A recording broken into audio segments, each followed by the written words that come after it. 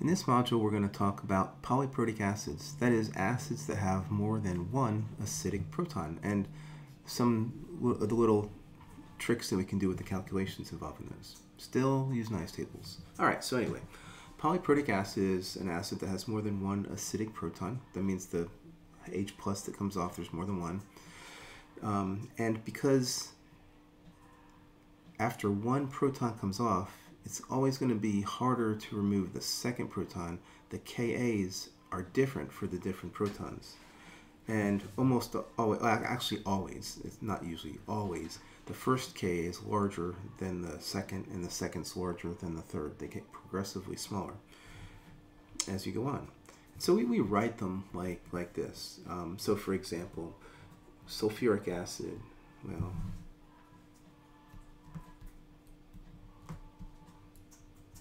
is a diprotic acid and has two acidic protons, so we would have a Ka1. Actually, sulfuric acid is a strong acid with the first proton, so it's it's really big.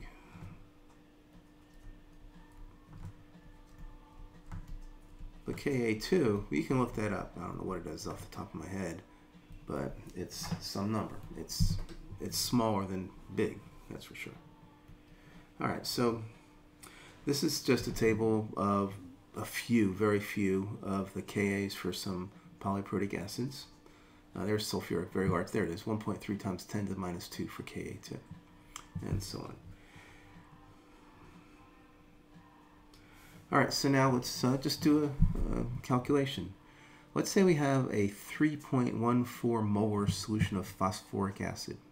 That's this right here, 3PO4 and we want to know what the equilibrium concentrations of everything in that solution is, as well as the pH of the solution. pH is right, negative log base 10 of the concentration of hydrogen ion. So what we're going to do is start with Ka1. We're going to do this stepwise and set up a nice table for the, the first proton that, that comes off. And so normal ice table, this is our initial concentration, 0, 0.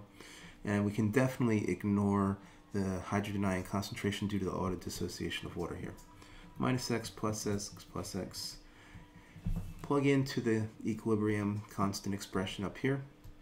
And might as well try to assume that x is a lot less than 3.14. And we solve for x and we get 0.15 or so. It ends up that this number is less than 5% of 3.14.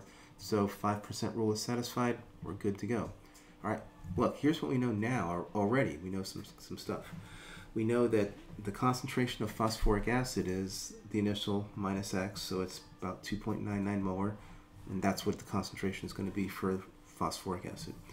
We also know, look, we know the hydrogen ion concentration already. It's going to be this. There's the other Kas are, are so much smaller than the first one that they are not going to contribute appreciably to the hydrogen ion concentration. If you want, you can go ahead and, and do the calculations where you don't assume that, but it's not going to change the answer.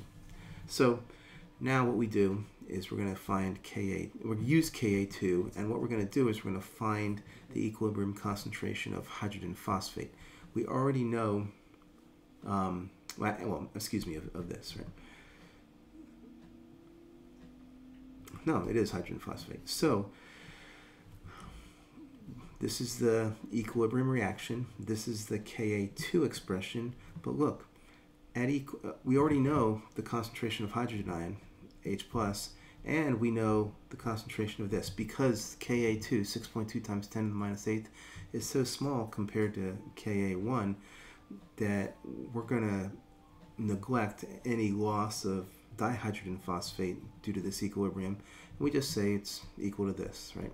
And in this case, these guys cancel, and we get right away, right away, no quadratics or anything, we get the equilibrium concentration of hydrogen phosphate, 6.2 times 10 to the minus 8, the same as the Ka.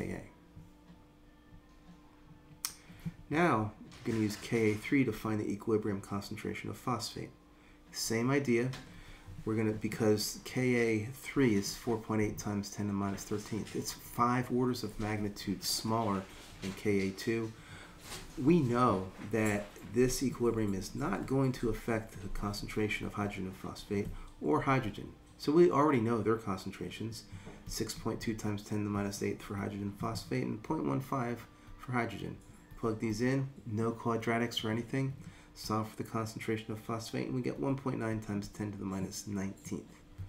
Now we pretty much know everything we asked. Equilibrium concentration of phosphoric acid, dihydrogen phosphate, hydrogen phosphate, phosphate, hydrogen ion concentration. Oh yeah, the pH, just negative log of the concentration of hydrogen ion. So negative log of 0.15 0.81.